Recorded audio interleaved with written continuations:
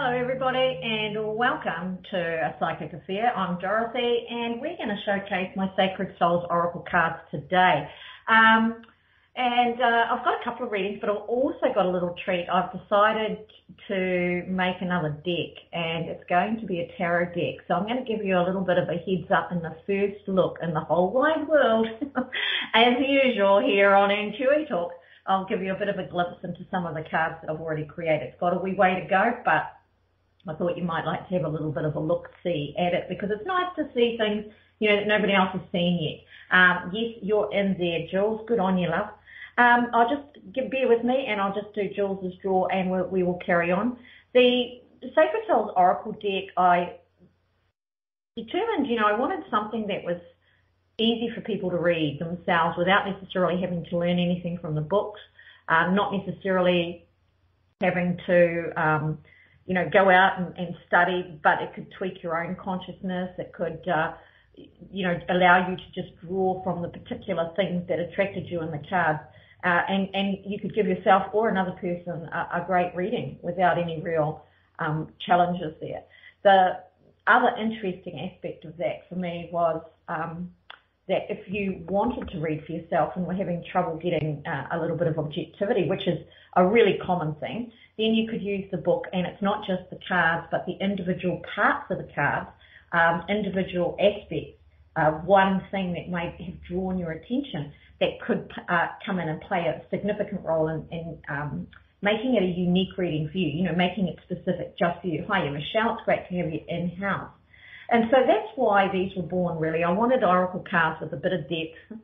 I wanted oracle cards that weren't so simplistic that when you drew them it was hard to kind of work out how, how that card was, what relevance that card had for the question that you were asking. Um, because then really you're doing an intuitive reading, in which case the cards are irrelevant. So for those that want the direction and the guidance of the cards, I wanted cards that could offer you that without any real problems without any real in-depth learning. So that's how the Sacred Souls Oracle came about.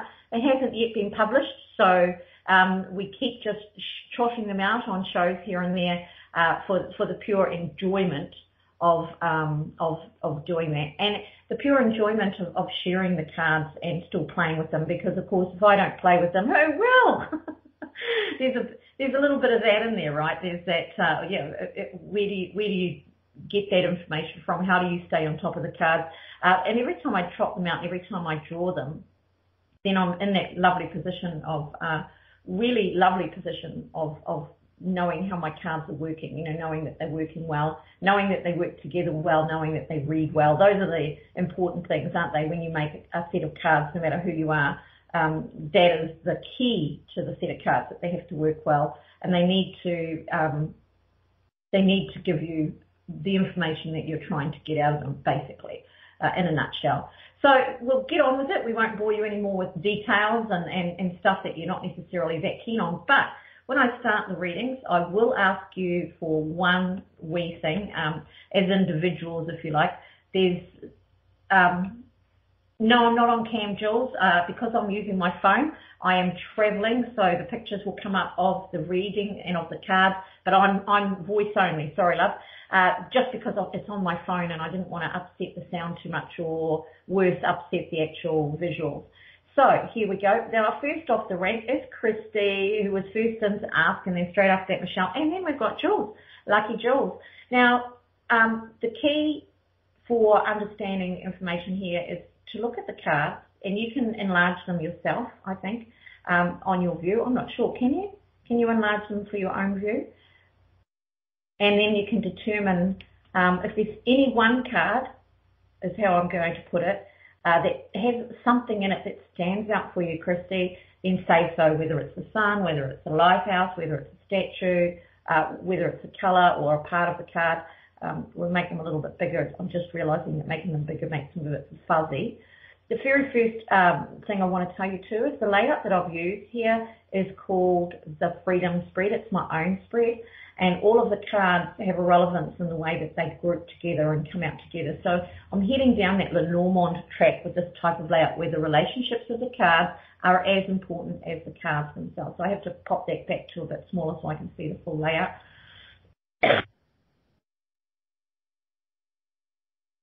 All right, here we go. Now the card on the right is a message from you to you, Christy, and that's for any of you listening to the next lot as well. So initially we've got relationships and I've got the strength card or the male card here and these go really well together. You may be finding that you're having difficulties with a male in your life or a person in your life that wants to exert power over you. Because we've got the relationships card in there, thank you very much, Jill.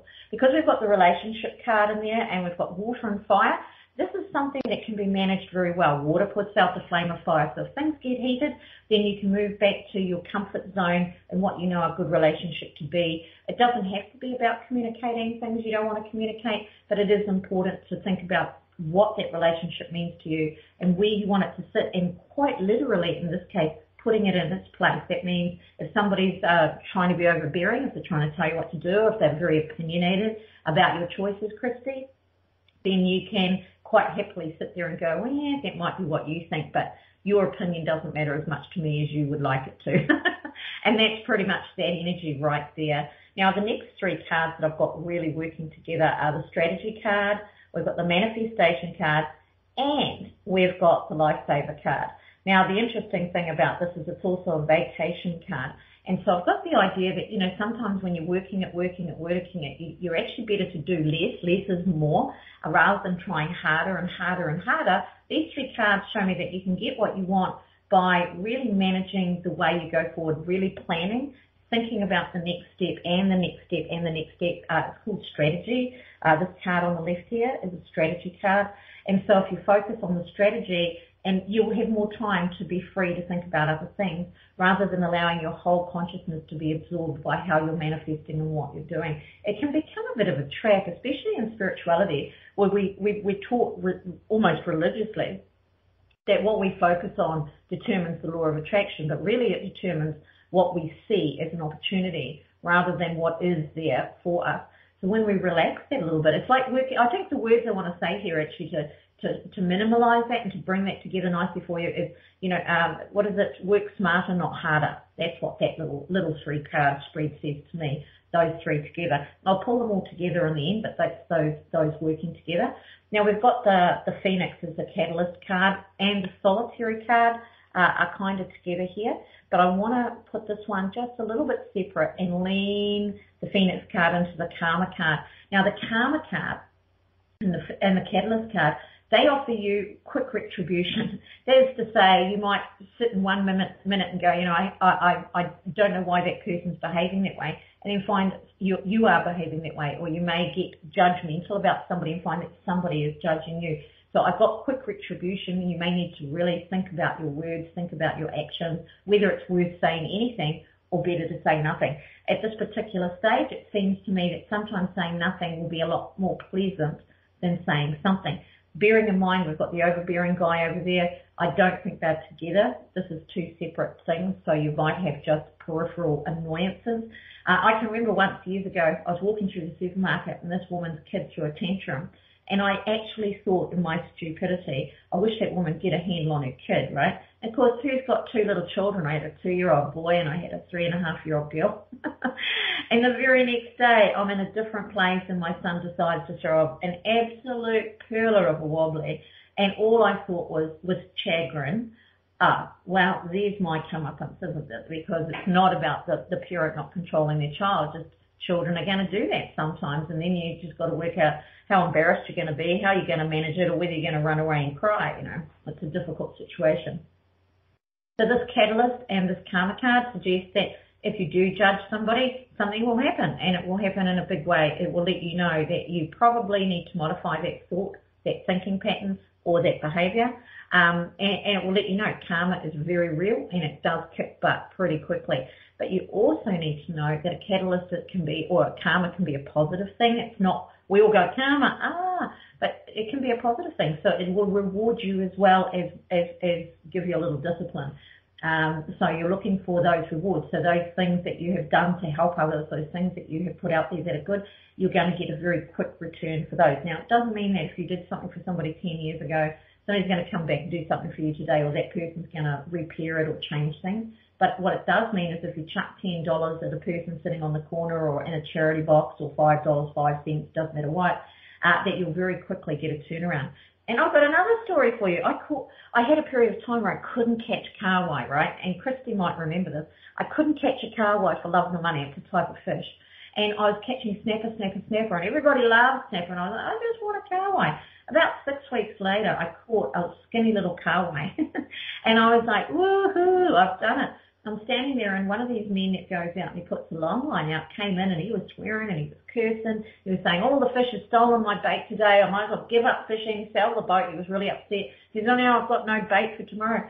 And I looked down at my kahawai and I picked it up in my hands and I said to him, would you like this kahawai for bait for tomorrow? And he took it and he was very nice. And I remember walking away and thinking, bugger, I wish I hadn't given him my kahawai. Like it was like negative all the way home. Stupid cow, it's the only kahawai you've caught in ages, da da da da da. On one hand, I felt happy that I'd done something nice. On the other hand, I thought, well, you know, I just robbed myself. I carried on home. I was home for about an hour or so, and another couple that was staying in the camp that also knew about my uh, kahawai saga, they came into the camp and his wife walked up to me with this beautiful, big, fat kahawai, and she gave it to me, and she says, here you go, we got you kahawai, Dorothy. And I was so over the moon. So I'd given him a scrawny little kahawai. I had sort of done something nice, but I still had little stormy thoughts about that. But the karma came right back at me within a couple of hours and gave me an even bigger, better kahawai. So just saying, that's the way it works and can work. Now the next card I want to put together is the broken mirror and the shaman card. Now the shaman card is about being your own healer. Actually, did I draw this for you, Christy? Did I draw this as a card at some point for you? Um, recently. This is about being your own healer. Ah, well, you come up again. If cards come up again, they need to be noticed. Now, being your own healer, we've got the fractured mirror there. The fractured mirror can be self-image, uh, hurt, pain, you know, anything that hasn't gone away. Broken glass really does epitomize the word pain, doesn't it? You know, it's ouchy stuff. And so the shaman suggests that you go into your heart, you go into yourself deep. That's what a shaman does. You go nice and deep into your cellular structure. And while you can't see that on here, we've actually got uh, a molecule in here uh, as part of the picture. We've got the, the, the spirit particle, actually, the molecule and what it looks like for those godlike experiences. And so when, when we're looking for that, we can go deep into the earth, we can go deep into meditation, we can look at a situation that keeps recurring, a particular feeling, and think, well, I don't know why I feel like that. Well, now's the time to go find out. And then once you get that, once you sort that, once you bring that forward, you'll find that the mirror is, is, in the position that it can heal itself or, or repair itself. I, I've always found it fascinating, you know, this, association, you break a mirror and you get seven years bad luck. And I often think about grief and I often think about the hurts that we carry with us for many, many years. And it's self-image injury, isn't it? It's how we feel about ourselves if somebody hasn't treated us so well, especially if we're in a younger age uh, age group. The, the message from you to you on the right there, uh, that's my nice little Aboriginal card, by the way. And that, that's a card of uh, ancestry, DNA, understanding our history, understanding where we've come from.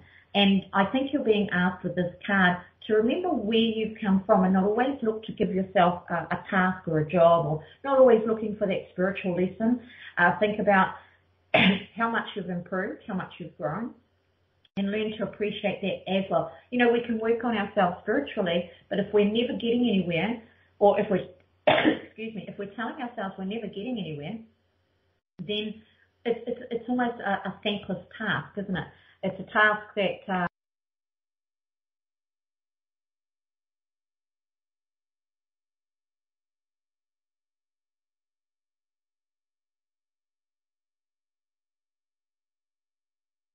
I'm back, sorry. Um, it, it, went a bit funny there. Uh, it's a task that takes us away from the joy of life, the, joy of spiritual uh, development, when we're always saying, I've got to go back to the beginning, or I've still got to learn this, or I haven't healed that. It's this really a nice energy, a nice way to, to think and promote yourself to accepting, you know, that you have traveled far, that you have made gains, that you have grown and with that, those improvements allow you to feel good about yourself, even when you know, okay, I could develop this a little bit more, but I don't need to go back to the beginning because I've already come so far. I've already done so much work. When you appreciate the work you've done, you'll always be in a better position going forward.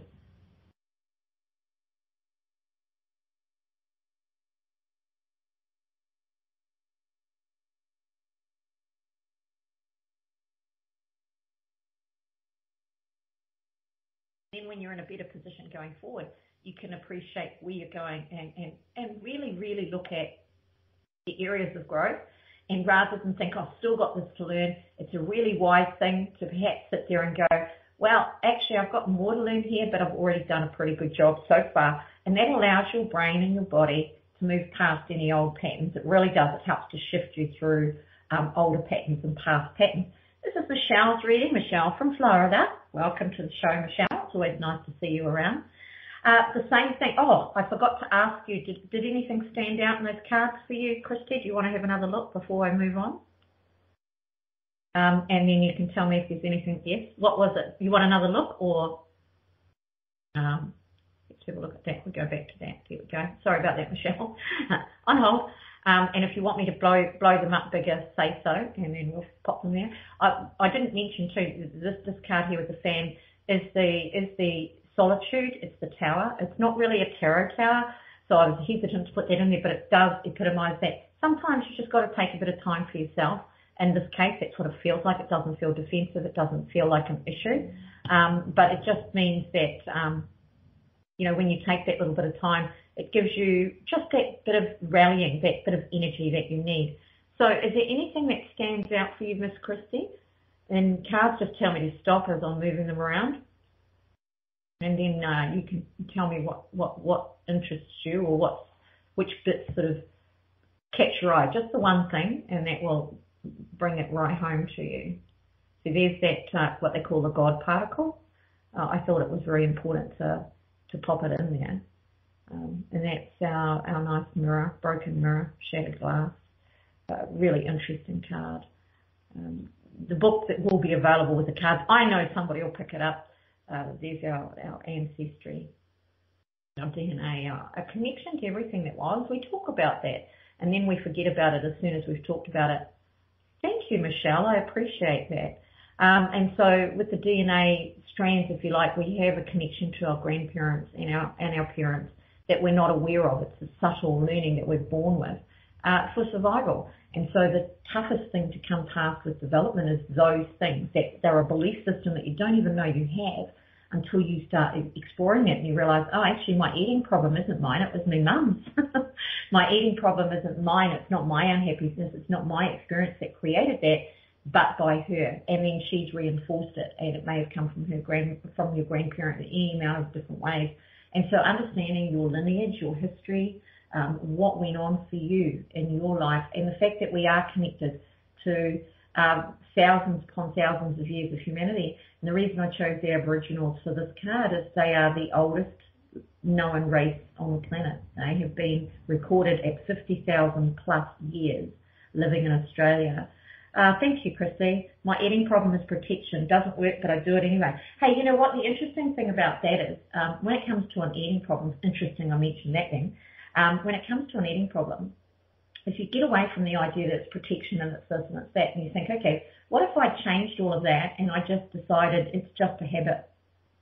I want you to think about that. It's just a habit. It's nothing more. It's nothing less. It's just a habit. And that habit is so ingrained that I use it in different ways, if that makes sense. I might use it for protection, but you said it doesn't work. So clearly a shield would be better, right? so if you're still doing anything, it becomes a, a, a psychobabble thing where we've heard all of this psychology as to why people overeat. But what if it was just a bad habit? And we do inherit bad habits. You know, if your parents are smokers, you're 70%, 75% more likely to be a smoker of something, even if it's not cigarettes. If they're drinkers, you're 75% more likely to be a drinker if they have a food issue, more or less, if they starve themselves, overeat, if they force feed you, how many of us had to eat till our plate was empty, even when we were full? Think on that for a second. So you're being taught then a habit of overeating, not necessarily a habit of being a, a dieter or, or being fat. It's quite an interesting thing. I don't know about you ladies, how many of you were brought up with this because I was. There are starving kids in Ethiopia. You've got to eat all your dinner. You know, we were brought up with that and, and we were tiny uh, tiny little children and, and we're eating these big meals because abundance was the thing. It was proof that you could feed your family. I don't know. But we, we had these bloody great roasts and big casseroles and plates of mince and mountains of potatoes. And of course, we were told to eat until it was finished. If you didn't, you got up for breakfast or you got sat at that table and stared at and leered at. In my family, there were seven kids and two adults, mum and dad.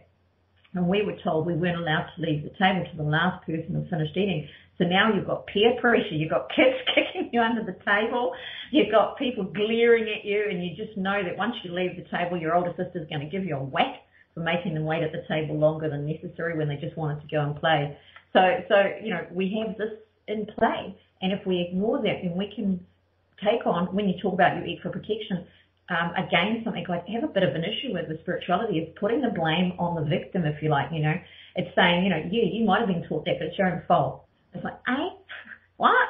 That doesn't add up. So there are life um, life experiences and there are life teachings that are not your fault. But once you recognise it for what it is and you don't add where we're going with that, then it's easier for you to, to deal with it. That's the catalyst card. That's the one that um, has the phoenix on it. Let me go get it over that way. Go the other way. That's it there. We've got the phoenix there. We've got Sedna. We've got poor old house there. This is all of this patterning in the back is the cuneiform writing, the first writing of man uh, that was ever written. Um, so is there something in there that stands out? It's a flame card, which of course a catalyst would be. Uh, you know, out of a horrible situation, no matter what it is. You could have a big fight with somebody, you could have a breakdown in relations, things could go horribly wrong. Usually something good comes from that. And very often what happens is it forces you to make a move where you might have been thinking about it and not really doing it, or you might have been hanging back, not for good reasons, you might have been over something, um, but, but really did need to move on. And then we drag our legs and tail sometimes, and then we lie in quiet and think, oh, gee, I just want to be somewhere else. I just want to be doing something else. Next thing you know, you get kicked in the butt by a catalyst that is a person who has a hissy fit or a situation or event that gets out of control. And then you're on the other side and you're having to make new decisions and new choices. Uh, and this is the one that I felt was for you related to this card. This is the karma card. And these two together indicate uh, that karma will will play a role very quickly in anything that you do. So if you do something wrong, you're going to get slapped very quickly. You're not going to get away with much. if you do something right, you'll get a fairly quick reward. Okay, so are we happy with all of that now, Christy? Yes, no? Oh, excellent. All right then. So moving right along, now we get to you, Paul Michelle. Paul Michelle, and we've got Jules having a reading today as well. Um, so here we've got back to this again. We have got uh, the manifestation card and we've got that next to the DNA or the history card, your ancestry card. And I want to join that with this middle card here. This is the snakes and ladders card and this is duality. And the duality is, you know, like that game of snakes and ladders. You know, you go up and you land on the long square and you have a bit of a slide backwards. But as long as you kept going up, you know, and as long as you kept throwing the right dice, making a few decent choices, you'd quite easily end up at the right point at the end of the game. But to get to the end of the game, one of the interesting things about Snakes and Ladders was always, I don't know if you've ever played it, but you had to get an exact number to get out. You know, you couldn't throw 10 and get out if you only had two. You had to throw two. So the, the more, the closer you get to the finish line, the more exacting, the more exacting the requirement becomes. And it's like experience in life, you know people give you a lot of leeway when you're learning. Once you've got X amount of experience, they say, well, you should know now. And so it becomes more responsibility. It becomes more exacting. You have to work not harder necessarily at it, but you have to work more appropriately, more correctly, that kind of thing, more efficiently, all of those things as experience comes into play. Now, the manifestation card is right there, so you may be trying to build something right now, trying to put something out there or trying to at least consolidate it. And it says with the uh, with the DNA or with ancestry card, it says think about where you started, what your goals were. Sometimes we lose um, uh, lose our, our our confidence. Sometimes we lose the vision a little bit. It all seems a bit hard. Are we making the right choice? Because we've got these ups and downs going on. And in this instance, it's saying yes, you have. Remember why. What's behind it all? What's the energy underneath it all that drove you in this direction to start with? So that's quite a big three card uh, thing there. Manifestation is an interesting card just insofar as we think of it being a house, a car, or whatever. But usually it's a bit more than that. When we're manifesting something, we're manifesting a lifestyle, we're manifesting um, a, a, an ability to buy what we want, we're manifesting um, a freedom, you know, or we're manifesting a, a relationship. But it's never an in the moment thing. We don't go and consider making $2 a manifestation. We consider making $200 a manifestation. So what do we want it for? What is the goal? Why are we doing it? Um, we're not just doing it to, to, to do it for the sake of doing it. So you're being asked to look at that there. Now I've immediately got these uh, three cards underneath it that I want to put together as well. We've got the male or strength card, we've got the visionary, and we've got the vacation. Uh, you might spend a little bit of time at the moment daydreaming. That's the feeling I've got around these cards. Uh, that, that the daydreaming though for you or dreaming, the daydreaming or dreaming, but I think daydreaming might be in there, is visionary. So the idea of what you're envisioning, what you're vision, having a visionary experience of, can become action for you with the male card. And you may have experienced this, experienced this a fair bit in your life where you find yourself sort of having this little visionary experience or a dream or a meditation or something, and then months, days, or years later, you find yourself actually living that. So, um, what's the word? There's deja vu in here as well. So it's that sort of I've seen this before energy. I can see where this is going to go. And the visionary, that's the mermaid card in here. It's got a little hummingbird chatting to us, so whispered messages, you're being guided, it's, it's all sort of there. You may just not quite have the action in play right now, but anything you're envisioning uh, will come to pass, by the way. Uh, we've got the male card there, which guarantees things are going to work out. You're going to put the effort in, things are going to, they're just going to put themselves out there by your own actions. So that's how that works. That card there suggests that you get in and get things done, you get them stuck in. He's right next to the talents card. Now this talents card says your talents are what are your way forward, but be, this card next to it is uh, the, the card of integrity. Be careful that you make sure people are very clear or you're very clear about where you're at and what you're trying to do. Uh, don't assume.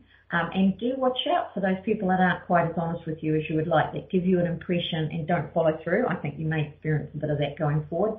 Um, they may smile and support you on the surface, but not necessarily actually step up and support you in the way that you hoped, expected, or the way that they said they would. And then we come back to this card, and it suggests that you'll be relying on your own talents rather than the offerings of others, which is kind of cool. Um, you've got some really nice cards in here because next thing we go to uh, well, when you look at this one, you go, really, it's the conflict card, but it's next to the match, okay? Now, the match, of course, is that tricky little energy where things aren't quite what they appear to be. So within a conflict, you've got the wind fanning, fanning, flamming, blah, blah, blah, fanning the flame. So here we've got the wind from the Madge, it's a wind card, and here's the fire, and this is that added layer that you can read if, if it feels appropriate, and it does here, where not necessarily knowing it, it fans the flames uh, and can create some conflict. We've got um, a, a, little a fan in here, and that's another thing that you can read. If you notice that you've got a repetitive pattern um, of fans, and you notice the fans in a number of cards, there's a slightly defensive quality about this. So perhaps a person who's appearing to support you actually sort of digs in or tries to make you justify yourself or explain yourself, makes you feel bad about what you're doing but I've still got things aren't quite what they seem there. So they may not be trying to do you damage or they may not be trying to hurt you or they may simply just not understand. But I do have some conflict around you. If it's not in play yet, it's coming up. Um, and try to dig a little bit deeper and make sure too that it's worth the effort because we've got the duality card, or the integrity card. Um, it suggests that that person may not mean what they say either. So they may be just saying it to sound smart, clever or, or whatever.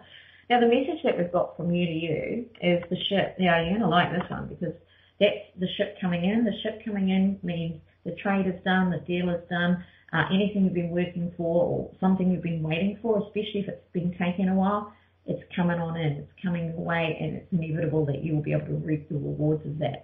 Uh, it's a beautiful card, and even in the tarot, the ships, uh, the Lenormand, they all represent a deal that's done. It's all worked out. Money's money's changed hands. Now I'm going to blow these up a little bit and we'll, we'll scroll through them. And then I just want you to tell me if there's one thing uh, that stands out in any of the images. Um, and if, if it does, just, just tell me what it is and I'll just move, just go right, right, right, up, down or whatever as I start moving them or just tell me to stop so you can look at a particular card. Um, I'm looking. Good on you. That's the a snakes and ladders card. And you just keep your eyes on them and let me know if something, anything in the picture itself stands out. They're a little blurry. I had this last time I put them up and I thought I'd put them up a decent size and they're a little blurry so they must come up a bit smaller. That's that conflict card. It's quite an interesting card because it suggests too that sometimes we just need to look and, and look around and we might see the sun, you know, get our head out from under the clouds or whatever it is that we're doing. Here's your ship card. Those flames stand out, the purple part in, in this one here. You talking about this one? Yes. Uh, the lightning, you mean? It's actually lightning. No, does that sound right for you? Yes. Light, lightning, yeah. Um, for for the um, lightning, expect sudden events, sudden um, situations, uh, sudden um, sudden sudden things sort of coming out of nowhere, if you like, a, a bolt from the blue.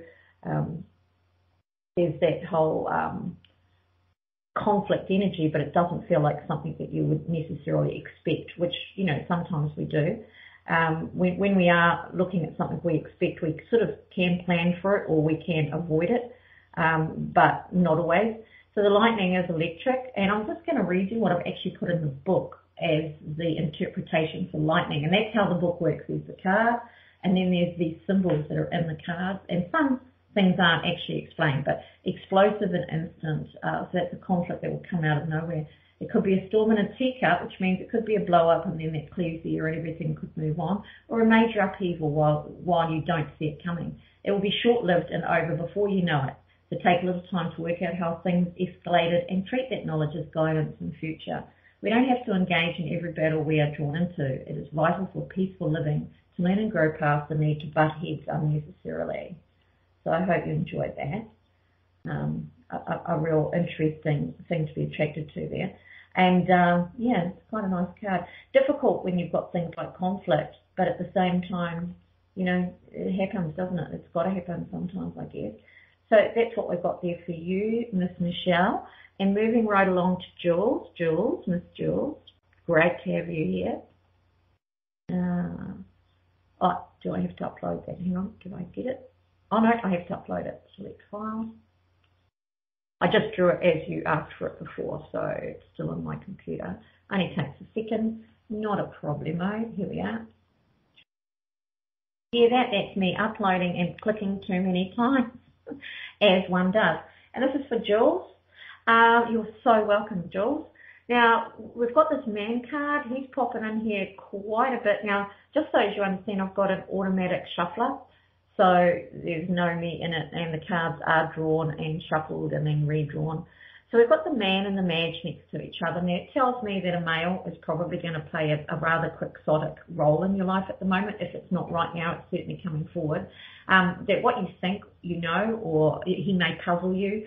Uh, he may give you an impression. The madge is interesting because it involves sleight of hand or it involves deception, but it isn't always deliberate deception. I want to say that, but it can be deceiving.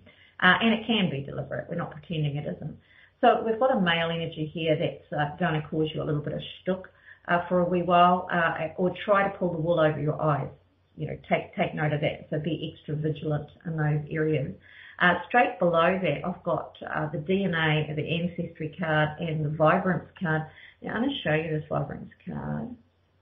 Um, there's our man now the vibrance card here, it's about friendships, it's about bonding, and so it suggests too that you can have a really lovely time in the next wee while with a strong bonded friendship or creating a nice bonded friendship, but there is a need to enjoy your friends, uh, gather them around you, and we're not talking about new friends, we're talking about people that have been in your life for a little while, or a person who's been in your life for a little while, uh, and that you really enjoy the company, and I just see that working really nicely for you. Um, there's a reminiscing around this because we've got the ancestry card there, so the chances to talk about old times and the, you know things as they went once upon a time. Uh, there's quite a bit of fun in there. I like that for you, and I just think that that's a, a really pleasant, complementary little thing to have going on. I'll go back here so I can see the next grouping. Now we've got journeys uh, and serenity around you these two I want to bring together. Um, every little trip you take is, is really satisfying for you, whether it's a wander down to the river or wander down to the beach, I don't know, but wander down to the water somewhere, they're two water cards.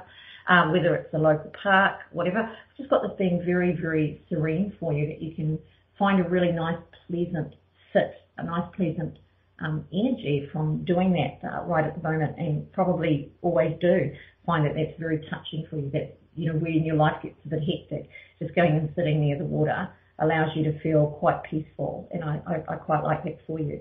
The Serenity card is quite nice because it does also indicate a need to find some serenity. If you find you're in a bit of a conflicted situation, step away, uh, give it a moment. Now, interestingly, I've got your ship coming in in manifestation. I want to bring those two together. Uh, that does suggest to me that as you work, you get paid. As you put energy out there, there will be energy coming back in. It's working together. It's a strong earth energy putting these two together.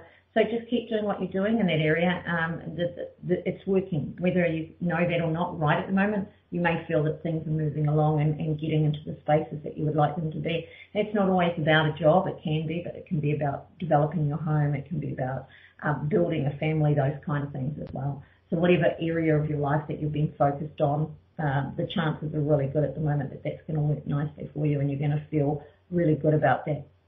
When does the ship come in? Oh, now there is a good question. I'll come back to that in a minute. Um, the the conflict card is here for you too, but I wanted to isolate it to this visionary girl. You know, the visionary card. Um, that means I've got a feeling you're going to think something's going wrong, but it isn't. I don't know. Do you do that, Jules? that it's almost like you, you've got this idea that something's wrong, or somebody's not happy, or something's going wrong. Uh, that it might be okay a conflict, but then there isn't. And the visionary card allows you to maybe listen a bit more clearly to your um, your intuition rather than um, being worried about something that you're scared of. Does that make sense? You know, worry is about being scared of an outcome, I suppose. I was scared of conflict, scared of things going wrong. Um, but it's not intuition. Uh, intuition allows you to know, well, I don't need to worry about that one. Uh, but this one over here might be worth a look, and then you can take action and you can plan and you can make things work for yourself. Uh, so I, I, would have a little look at that. Uh, this could be too where the water comes in because it flows on literally from there. Um, and you've got that nice water and that, that, that when you go and sit by the water, it allows you to, to relax, it allows you to let go of those things. Perhaps that's something you need to try if you haven't done it before. Now, the message from you to you, from your higher self, if you like, or your subconscious, your inner self, is in fact signs. And the signs card suggests that it's a really good time for you to take notice of signs. That song that comes on the radio randomly, words that somebody says to you, a picture that you see going by, something that feels maybe like deja vu or something that presents itself as a sign for you for a question that you have asked it also means if you haven't asked a question about receiving a sign, it's a really good time. Do it now. Uh, and you will get a positive go forward. You'll get nothing or you'll get a woe back in whichever way that goes. And nothing says you might not want to do it right now, but it doesn't mean you can't. A woe back says, yeah, let that one go. Um, but also, if you think you're getting signs, if you think things are giving you a little messages here and there, then you're absolutely right. So take them as what they are. Um, get on the net if you've seen something unusual in the animal world or plant world. And I don't mean unusual. If there's lots of birds around you and, and then you see a bird on the window, yeah, it's not necessarily a sign. Uh, but if you're in a place where you see something completely unusual or something you've not seen before or not seen for a long time, I think it's pretty safe to take that on board. Now, I'm going to run through these cards for you too, and if you've got any part of any of them um, that sticks out for you, then just tell me to stop. I'll start moving through them now. Uh, it can be any part of the picture, and that's fine. And just tell me to stop when or if you see something that really sticks out for you. It's uh, nicer when the pictures are clearer, I know. I was going to do just three card readings, and I thought, oh, there's only three of you. I'll, I'll, I'll just do, well, there was two to start with. I'll just do the 10 card reading so you can have a really good time with that. Um, enjoy them. And anything stepping up there for you yet, Ms. Jules? The blue of the fish. Uh, this one here, you like the blue? The blue is actually um, very light and it's got a bit of independent nature going on there. Um, that basically is suggesting that you, you, you really do like to go along with things, of the pink and purple of the next card. So it's the colours that are standing up for you. So pink and purple you're heading into not just money zones, but you're also heading into the zone of higher thinking. I know what I should be doing. And then when we allow that blue in there, this is aura reading really, when you allow that blue in there, that blue is suggesting that if you do things in an independent way, you know, you're only the way that feels right for you, not necessarily bugger it, I'm doing it my way, whether that's right, wrong, or whatever. Uh, you'll, you'll, get the best rewards. You do love being near the water, very tranquil. So that's, that was a, a, major message for you, that if you do get stressed and worried, then deliberately go find water somewhere. Do you have a park or a river near you? First thing I thought of was a river actually, and then I thought, oh, maybe the sea or a park uh, or a lake. Um, quite interesting stuff as we go forward. Um, I like the two hearts at that same pink and purple. So those two hearts, they're about um, emotions being pulled into a conflict. That that makes it more somebody you know.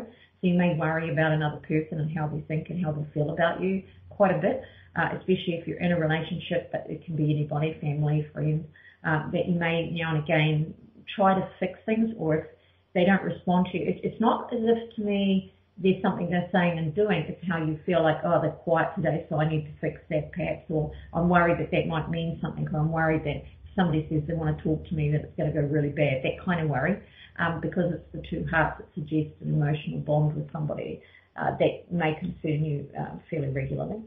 So it's quite an interesting thing. Shall we have a look at these uh, these new tarot cards? What do you reckon? Hey.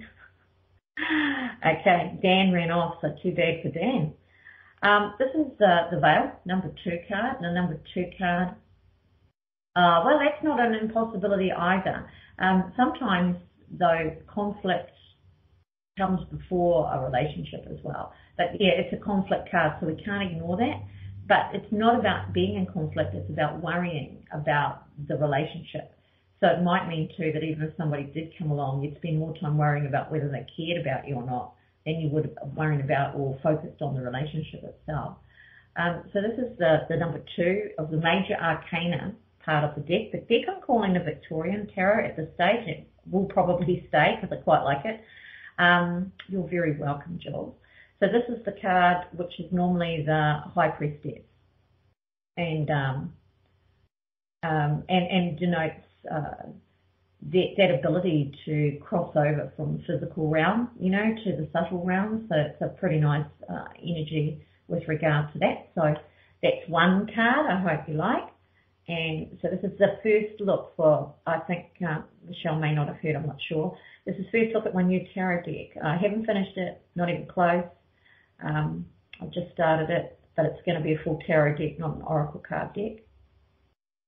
Uh, this is the feminine card, which is the Empress card in the tarot. Um, I'm really quite happy with her and how she looks. So what I'm trying to do with these is I'm trying to get away from what I call and think of as irrelevant symbology. Now I'm very, as Christy will tell you, I'm very into the symbology and I've learned it and I understand it, but it's not really modern relevant. Does that make sense? You know, we don't understand it really. Most people, you have to go and learn it. You have to learn a bit of the Kabbalah, you have to learn a bit of Hebrew, you have to learn quite a lot of stuff. You have to learn the symbols of, of what the robes for uh, the Pope means, and you know, you've got all this stuff going on. And so I wanted to take the essence of those cards because Rider Waite um, wrote that there was no meaning to the tarot cards but the pictures. And I like that. And, and so what I was aiming for here is that there's a few words that work for every card and I wanted those words to be the name of the card. Yes, you can still read them as a tarot, and I've aligned them in the book. I'm aligning them to the tarot card that matches the card. And so, of course, the Empress is about your intuition. Uh, she's about your feminine, about your nurture, and all of that sort of stuff. She's about leading from the heart. Um, so quite good fun. And so that's where I'm heading with it, a very simplistic, um, and, and the book will be very simplistic as well, very simple little meanings uh, to make it really easy. Um, choices. This this is why I'm calling it the Victorian tarot because I got a little bit what's the word frivolous I think with my pictures. I don't know if frivolous is the right word, but I, I sort of got romantic maybe. Uh, thank you.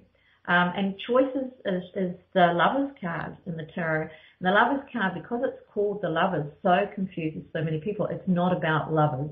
It's about making choices, and the most important choice we make in life would actually be a partnership choice, uh, whether it's a, a love partnership or not. And while it can indicate that, it also indicates that we're not necessarily making the best choice or that there may be other choices that we're not considering, hence the man in the background. She's with this man in the front, he's offering her something, but she's thinking about that man. And so it's like she's making a convenient choice, not necessarily one of love. So we're, we're going to that. And then of course, when we don't make the right choices, things can go horribly wrong. So we have the green heart just to show that, yeah, it's an emotional card.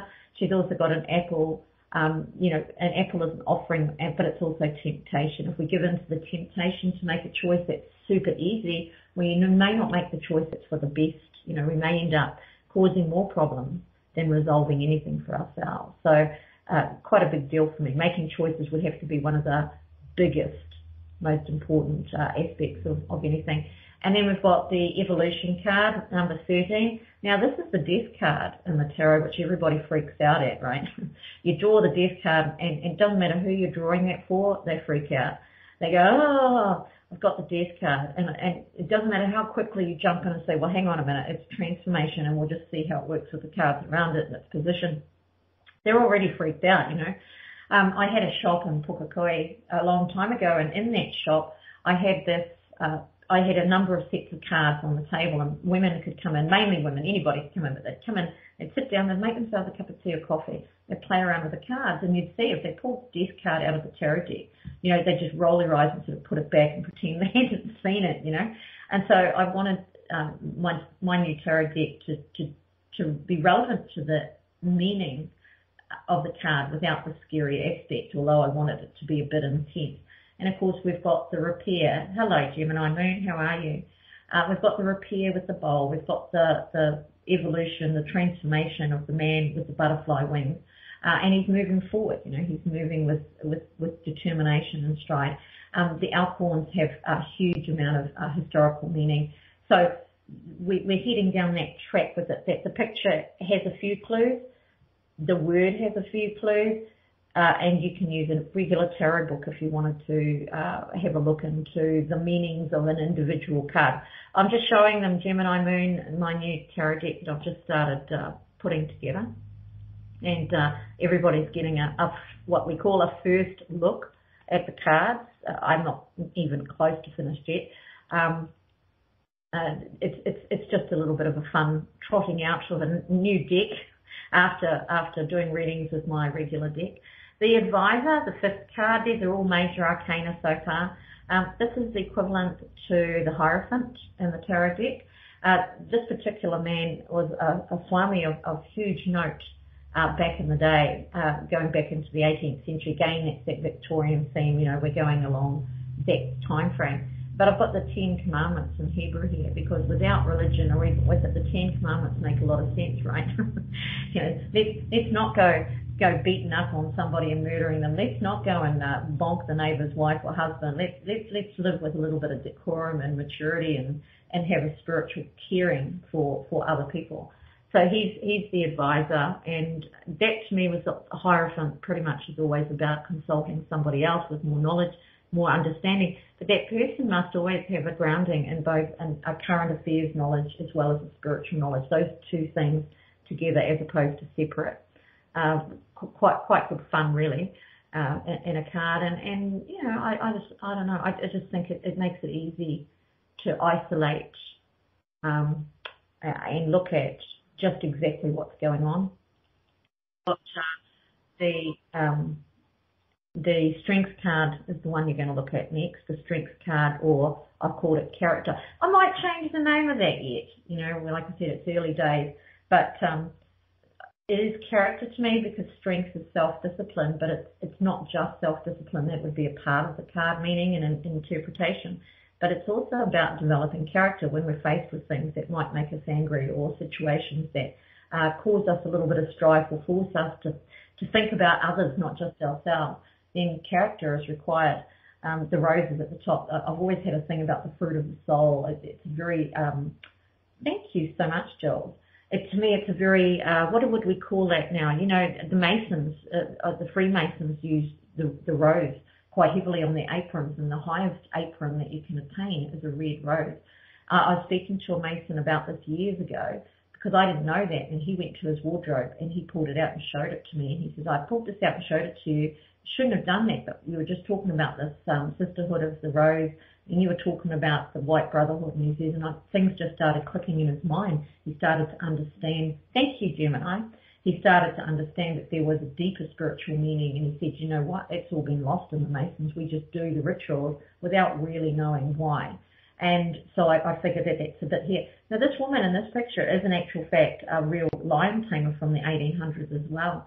Uh, and all of the photos that were of her, these this, these weren't the lions that she was with.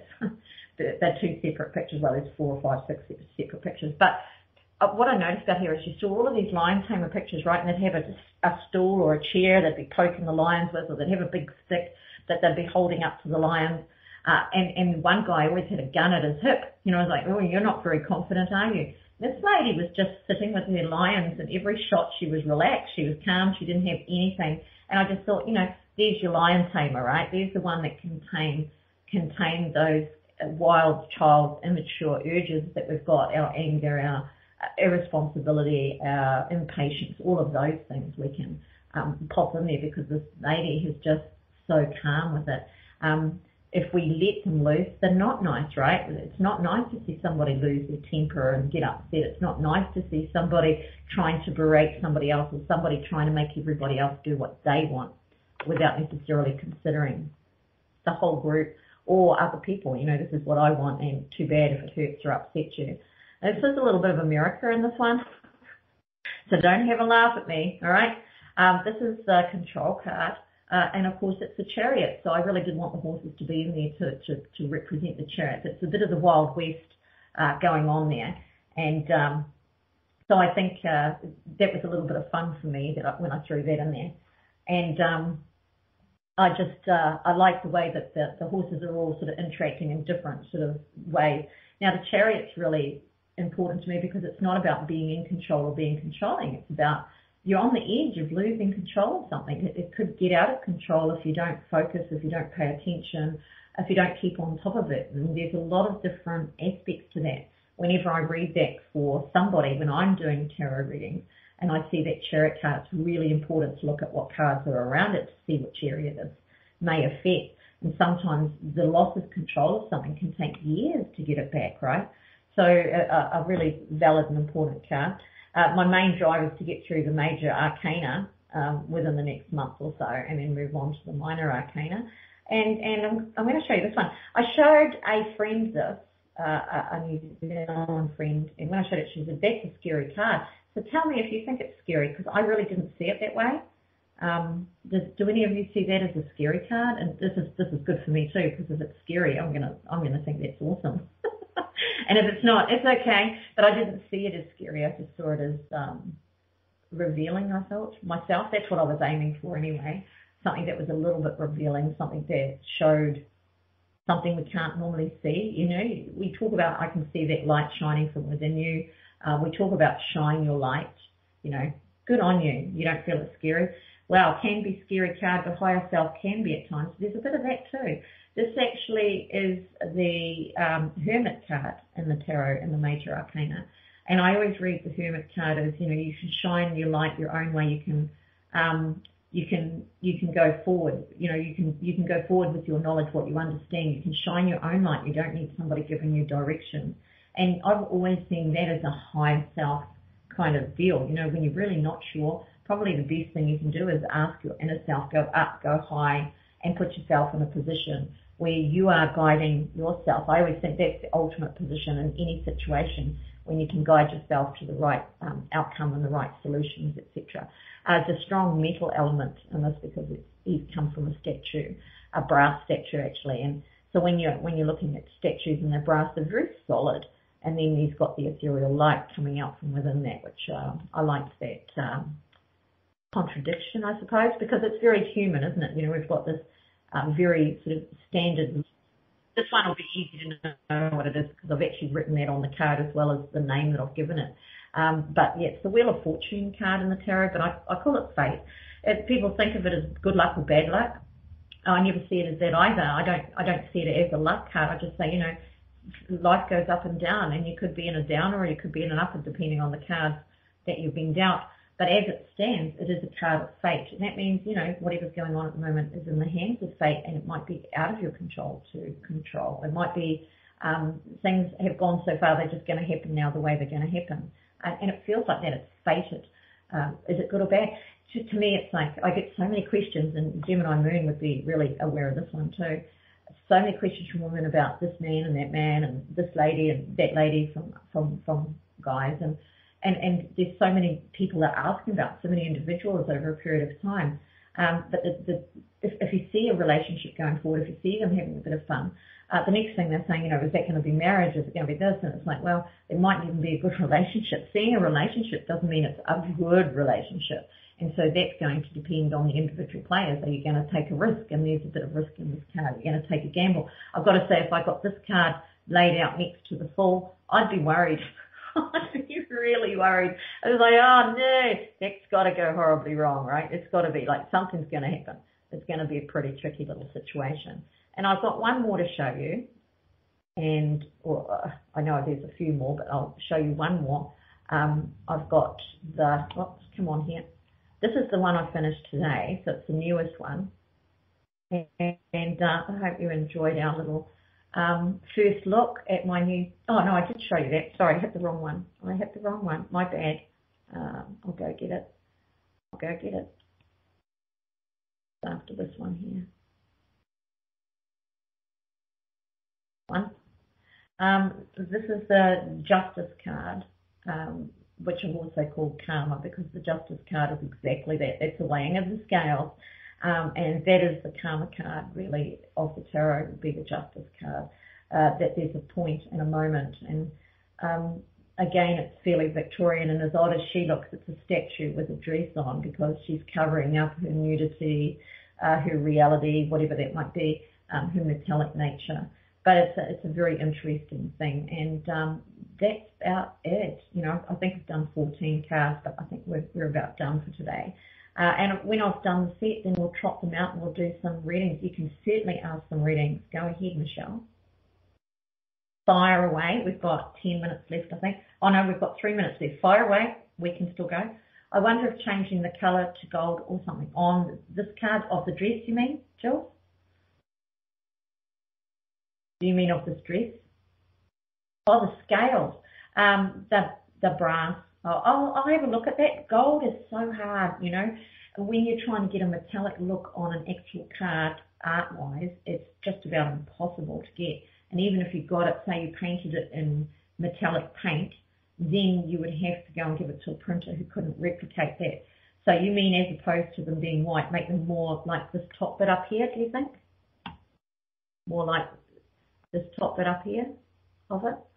Um, Okay, so I've got perhaps we're looking, um, I'm, I'm picking, I'm, I'm going early January, Michelle, when the ship comes in, by the way. And I agree, you said I was visualizing things, but I feel I'm also receiving messages telepathically. Am I getting telepathic? Absolutely. When I say visions, that's just a general term for me because I'm very visionary. But it's, it's for most people, it's more than one style of receiving information. It's in general a variety of ways that we get it, and it's just easy to say see rather than see, hear, touch, feel. You know, it's easier to just say, and I see. Um, so that's how we put it. I'm, I am very visually, so I tend to use that word. With that visual visual card, by the way, there's a little hummingbird. Was that for your reading? There's a little hummingbird in her ear. Um, you can listen to the archives of this. Um, to bring out the scarf. Okay, I'm going to make that my next mission is to see if I can't make them more goldy, make them the same as this top bit really. They'd have to be the same, right? As this bit up, up here, the, the balancing bit. Um, make them the same. I, I, I thank you for that little bit of input. Awesome. Ta very much. Now, I hope you've enjoyed today's shows. Go and have a listen to the archives, Michelle, because I've got a feeling it was you that I mentioned the, with the visionary card. I mentioned that she's got a little hummingbird in her ear. And so that might answer that question for you. I hope you've all enjoyed the show and I hope you've enjoyed our first look at my new set of cards. uh, and I hope you enjoyed my Sacred Souls Oracle card deck. And so we'll look forward to doing another show and hopefully we'll have, be able to trot these out within a few months. You're most welcome everybody. And remember, enjoy your week and don't be a part of your own problem. Ciao for now.